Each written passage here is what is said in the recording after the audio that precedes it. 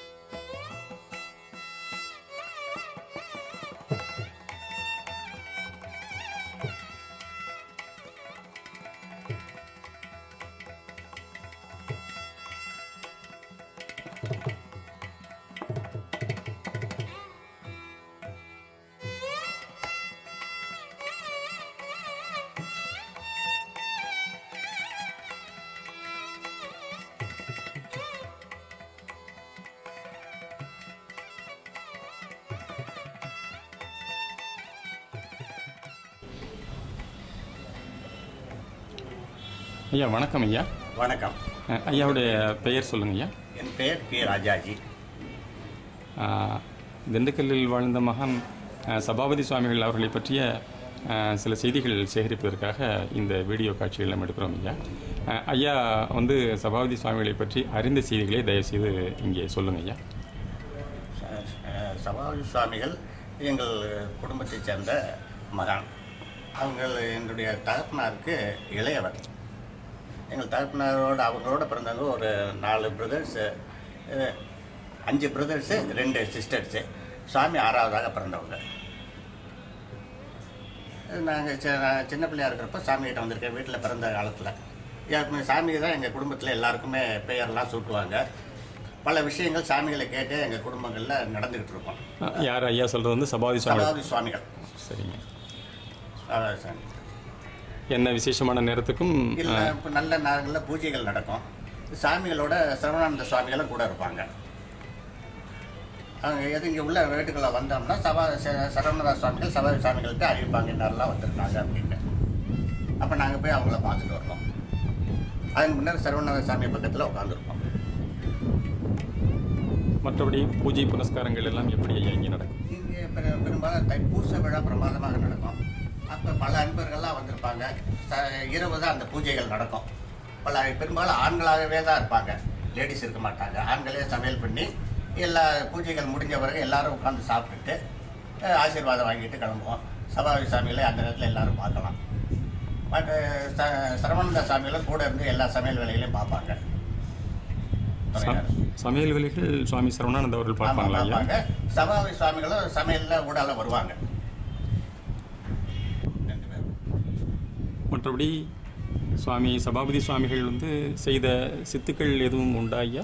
அது நான் ரொம்ப சின்ன பிள்ளையா இருந்ததுனால எனக்கு சாதாரணமாக சின்ன பிள்ளை மாதிரி வந்து போயிட்டு இருப்பேன் ஆனால் சில பெரியவங்க சொல்லியிருக்கிறாங்க. எங்கள் கடைக்கு எதிர்த்தாப்புல இருந்த ஒரு செட்டியார் ஐயா சொல்லியிருக்கிறார். அவர் சின்ன பிள்ளையா இருக்கும்போது அவங்க எங்கள் வீட்டு மாடியிலேயே சாமிகள் சரவண சபாதி சுவாமிகள் குடியிருந்து இருந்திருக்காங்க. எந்த தெருவில் திண்டுக்கல் மேற்கிற தேவேதி அஹ், மாரியம்மனுக்கு எதிர்த்தாப்புல வீடு. அப்போ கிராமத்தில் இருந்து ஒரு பெரியவர் ஒரு பெரிய பிழவையோட மிகுந்த துன்பப்பட்டுக்கிட்டே இருக்கும்போது வாசப்படியில் வந்து உட்காந்து சாமிகளை பார்க்கணும்னு சொல்லியிருந்தாராம் அப்போ சாமிகள் இறங்கி வந்து ஒரு விரலால் அவரை தொட்டாங்களாம். ஒரே ஒரு விரலால். அவங்களுக்கு அது குணமாயிடுச்சு அப்படின்னு சிட்டியார் சொன்னார் எதிர்த்தாப்புல சிட்டியார் எங்களுடைய தாத்தா பார்ட்னர்ஸோட பிள்ளைங்க வியாபாரத்தில். மற்றபடி அவர்கள் வந்து வருடந்தோறும் வேற விசேஷமான நாட்களுக்காக பூஜைகள் எதுவும் நடத்துவது உண்டா? பூச விழா பிரமாதமாக நடக்கும். எப்பவுமே நல்ல விதமாக வருடந்தோறுமே. வருடந்தோறும். பட் நல்ல நாட்கள் அன்றைக்கெல்லாம் வர சொல்லுவாங்க. எனக்கு எல்லா இதுவும் தெரியாது. அந்த என்னென்ன காரணத்துக்கு வர சொன்னாங்கன்ட்டு. மற்ற நேரங்களில் இங்கேருந்து நல்ல பொங்கல் நாட்கள் தீபாவளி நாட்கள் என்றால் அப்படின்னா இங்கே வந்தோம் அப்படின்னா இவங்க செய்திருக்க பலகாரங்கள் மற்ற இதுகளை அனுப்பிச்சி விடுவாங்க எங்ககிட்ட கொடுத்து வீட்டுக்கு கொண்டு போய் சொல்லி. அந்த மாதிரி நடக்கும். ரொம்ப சிறப்பு ஐயா. அவர்கள் இறுதியாக இறுதி நாட்களிலே எத்தனை ஆண்டுகள் சுவாமி சரவணானந்தா அவர்களோட வாழ்ந்தாங்க ஐயா? நான் கேள்விப்பட்டதுலேருந்து சரவானந்த சுவாமிகள் அவங்களுடைய இருபத்தஞ்சாவது வயதுலேருந்து இவங்க சாமிகிட்ட வந்துட்டதாகவே சொன்னாங்க. எங்களுடைய மச்சான் தமிழ் ஆசிரியராக இருந்தவர் கிருஷ்ணானந்தம்னு. அவருக்குடைய ஸ்டூடெண்ட்டாக இருந்தவங்க சரவணானந்த சுவாமிகள். அந்த காலத்துலேருந்தே அவங்க எங்கள் வீட்டுக்கு வரப்போக சாவரி சாமிகள்கிட்ட அறிமுகப்படுத்தி வச்சுருக்காங்க அந்த மாதிரி வந்துக்கிட்டு போயிட்டு இருந்திருக்காங்க. இதையும் ரெண்டு பேருமே என்கிட்ட சொல்லியிருக்காங்க. கிருஷ்ணானந்தாவும் என்கிட்ட சொல்லியிருக்காங்க. சரவணா சாமிகளும் சொல்லியிருக்காங்க. நான் சபாபதி சாமிகள் எங்கள் வீட்டிலேருந்து இடம் மாறக்கூடிய காலத்தில் நான் அநேகமாக பிறந்த கைப்பிள்ளையாக இருந்தேன் அதுக்கப்புறம் இவங்க மாறின இடங்களுக்கு எங்கள் பிரதர்ஸு சாமிகிட்ட எங்களை கூட்டிகிட்டு போவாங்க. ஒரு சந்தர்ப்பத்தில் என்னுடைய என்னுடைய ஒரு அக்கா இருந்தாங்க. அவங்கள அவங்க வரவழைச்சு பார்ப்பாங்க சுவாமிகள். அக்காவோட வரும்போது என்னையும் அழைப்பாங்க. அந்த மாதிரி நேரத்தில் அவங்க தான் லேடியாக அங்கே கூட அங்கே வீட்டுக்கு வந்தவங்க சாமியை பார்க்க. எனக்கு தெரிஞ்சு. மற்றபடி பெண்கள் யாரும் சபாதி அலோவ் பண்ணதில்லை. வேற யாரையும் அலோவ் பண்ணியிருந்தா எனக்கு தெரியாமல் இருக்கும். சரி சரி சரி பரவாயில்ல. இப்போ சபாபதி சுவாமிகளோட இறுதி காலத்தில் சுவாமி சரவணானந்தா அவர்களது இல்லத்தில் தான் வந்து தங்கியதாக செய்தி சரவணானந்த கடைசியா சரவணானந்த சுவாமிகள் இல்லத்திலேயே நாட்களாக இருந்தாங்க. சில இடையில கூட உடம்புகள் கொஞ்சம் சௌரியம் இல்லாம இருந்தது. பக்கத்துல இருக்கிற டாக்டர்கள் வந்து பார்ப்பாங்க. ஓ. நாங்க அடிக்கடி வந்துகிட்டே இருப்போம். நான் பள்ளிக்கூடத்துல படிக்கிற காலத்துல பெரும்பாலும் தினசரியா வந்துடுவேன் சுவாமியை பார்க்கறது. ஏதாச்சும் கொடுத்து விடுவாங்க. எங்க வீட்டுல இருந்து இங்க இருந்து எடுத்துட்டு போறதுக்கு நாங்க வந்துருவோம் ஓ. அப்போ ஒரு வகையில் நீங்க சபாபதி சுவாமிகளையும் தரிசனம் செய்யும் ஒரு பாக்கியம் பெற்றவர்கள். சுவாமிகள்கிட்ட நான் காசு வாங்கிட்டு போற பையன். ஒரு கையில் இல்லை ரெண்டு கைக்கு கேட்டு வாங்கிட்டு போவேன். அவங்க எடுத்து கொடுப்பா கையில் எடுத்து கொடுக்க மாட்டாங்க டப்பாவை எடுப்பாங்க. நாலு நாள் காசும் எட்டனா காசும் அதில் இருக்கும். நான் எட்டனா காசு எடுக்க சொல்லுவேன். ஒரு கை கொடுத்து இன்னொரு கைக்கு கொடுங்காம இன்னொரு கைக்கும் கொடுப்பாங்க. ரெண்டு எட்டனா வாங்கிட்டு போவேன். அந்த காலத்தில் குழந்தை அந்த பிராயத்தில் அறியாத விவரத்தில் உங்களுக்கு கேட்டதெல்லாம் அவர்களிடம் வந்து கிடைத்திருக்கிறது. உள்ளுக்குள்ள நுழையும் போது நாங்க இங்க தொட்டி நிறைய தண்ணி வச்சிருப்பாங்க. இது வந்ததும் கை கால் கழுவி முகத்தை தொடச்சிக்கிட்டு சந்தனக்கட்டை இருக்கும். அதை அரைச்சு நெட்டிக்கு இட்டுக்கிட்டு குங்குமம் வச்சுக்கிட்டு தான் அங்கே மற்ற இடத்துக்கு உள்ளுக்குள்ள வரணும். அப்படி எங்களை பழக்கி வச்சிருந்தாங்க. சாமியை பார்க்க வர்றதுக்கு மற்றபடி அன்பர்கள் அஹ், சபாபதி சுவாமிகளை பார்ப்பதற்கு இன்று கட்டுப்பாடு எதுவும் இருந்ததா ஐயா அந்த காலத்தில்? நிறைய கட்டுப்பாடு இருந்தது. அவங்க அளவு பண்ணா தான் உள்ள வர முடியும். கதவே திறப்பாங்க. இந்த பூஜை நாட்களில் சாமிகளுடைய அன்பர்கள் பல பேர் வருவாங்க. நிறைய பேர் வந்திருக்கிறாங்க. சாமிகளுடைய கிளாஸ்மேட்ஸும் வந்திருக்காங்க ஓ சாமி படி- அவங்களோடய நான் பேசியிருக்கிறேன். படிக்கும்போது உடன் படித்தவர்களும் சாமி கூட சவாவி சுவாமிகளோட கிளாஸ்மேட்ஸ் அந்த காலத்திலேயே. ஆமா. அப்போ சாமி ரத்னசாமி நாடார்னு ஒரு பெரியவர் இருந்தார். அவர்லாம் எல்லா பூஜைக்கும் வருவார். அப்போ சுவாமிகள் வந்து கல்லூரி படிப்பும் கூட படித்திருக்கிறாங்க. அவங்க ஹைஸ்கூலில் படிச்சதா தான் நான் கேள்விப்பட்டிருக்கேன். வீட்டுக்கு எதிர்த்தாப்புலயே அந்த காலத்து முனிசிபல் ஹைஸ்கூல்னு இருந்தது. அந்த பள்ளிக்கூடத்தில் அவங்க படிச்சதா தான் சொல்லியிருக்கிறாங்க. சரி சரி சரி. ஐயா பல செய்திகள் சொன்னீர்கள் ஐயா. சபாதி சுவாமிகளை பற்றி அரிய பல செய்திகள் தங்கள் மூலம் வெளிப்பட்டது. மிகவும் நன்றி ஐயா. ஐயா சுவாமி சபாபதி சுவாமிகளை பற்றி பல அரிய செய்திகள் சொல்லியிருக்கிறீங்க ஐயா. அவர்கள் காலத்தில் வந்து வேற எதுவும் சித்துச் செயல்கள் செய்ததாக ஐயா அறிந்தது உண்டா ஐயா நான் கேள்விப்பட்டதில் அவங்க ஹிப்னாட்டிசம் மெஸ்மரிசம் இந்த வகையில் ரொம்ப ஹிப்னாட்டிசம் மெஸ்மரிசம் அப்படிங்கிறதுல ரொம்ப நல்ல விதமான முறையில் அவங்க செய்துக்கிட்டு இருந்திருக்காங்க. ரொம்ப ஆரம்ப காலத்தில். எனக்கு தெரிஞ்ச ஒரு சின்ன உதாரணம் கூட இருக்கிறது. அது சுவாமி சரவானந்த சுவாமிகள் எங்ககிட்ட சொல்லியிருக்கிறாங்க. சாமிகிட்ட வர்ற ரெண்டு அன்பர்கள் இருந்திருக்காங்க. அவங்க திருச்செந்தூர் போகலான்னு பேசிக்கிட்டு இருந்துட்டு ஒரு அன்பர் ஒரு இன்னொரு அன்பர்கிட்ட சொல்லாமையே திருச்செந்தூர் விசேஷத்துக்கு போயிட்டாங்க. அப்போ இங்கே வந்தவங்க அந்த அன்பரை காணவே இல்லைன்னு சாமிகிட்ட புலம்பியிருக்கிறாங்க. அப்போ சுவாமி என்னப்பா உனக்கு திருச்செந்தூர் தானே போகணும்? நான் போ சாமியை பாரு அப்படின்னு சொல்லிட்டு மெஸ்மரிசைஸ் நாட்டிசம் மூலமாக அங்கே இருக்கிற அன்பர்கள் மூலமாக நோட்டுகள் எழுத சொல்லிட்டு என்ன நடக்குதுன்னு பாருங்க அப்படின்னு எழுதிட்டு ஹிப்னாட்டைஸ் பண்ணியிருக்கிறாங்க.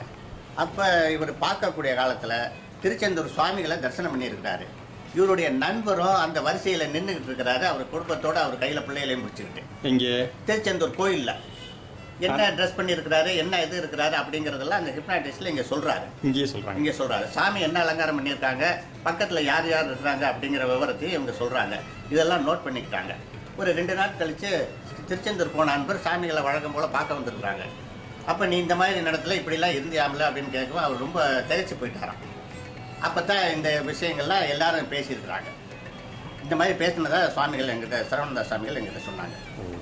அந்த ஒரு வகையான சித்துக்கள்லாம் அவர்கள் கைவர பெற்று இருந்திருக்கிறாங்க இருந்திருக்காங்க. அந்த காலத்துல ஹிப்னாட்டிஸ்ட் மெஸ்மரிசம்னே போட்டு அவங்க பிரிண்ட் பண்ணியே இந்த புத்தகங்களை ஒட்டி இருந்திருந்தாங்க அந்த புத்தகங்களை நான் பார்த்துருக்கிறேன். கடைசி காலம் வரைக்கும் இது செய்தார்களா? இல்லை ஒரு காலகட்டத்தில் ஒரு காலகட்டத்திலே அவங்க இதெல்லாம் நிறுத்திட்டாங்களாம். அதுக்கப்புறம் ஃப்ரெண்ட்லி அன்பர்களை பார்க்கறதோட சரி ஏதோ நேரில் பேசுனா அவங்க பேசுவாங்க. பெரும்பாலும் எல்லாத்தையும் பார்க்கறத தவிர்த்துட்டே வந்திருக்காங்க. ரொம்ப நன்றி ஐயா. செய்திக்கு ரொம்ப நன்றி. வணக்கம் ஐயா. வணக்கம்.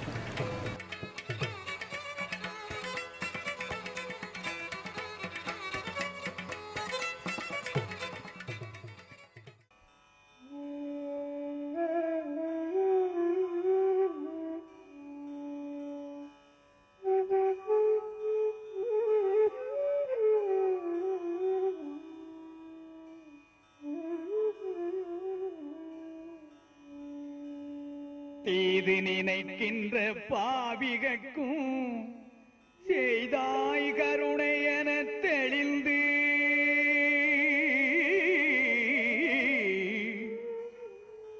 தீது நினைக்கும் பாவிகக்கும் செய்தாய் கருணை என தெளிந்து. வாது நினைக்கும் மனக்கடையே மகிழ்வுற்றிருந்தே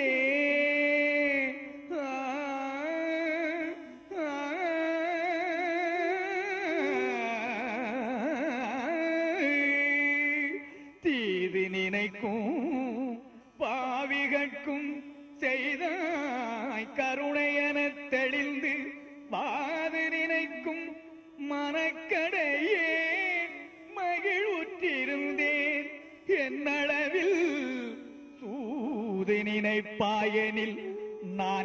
யாருக்கு சொல்வே யாரை துணை கொள்வே ஏது நினைப்பேனையோ? நான் யாருக்கு சொல்வேன்? என் அளவில் சூது நினைப்பேன்.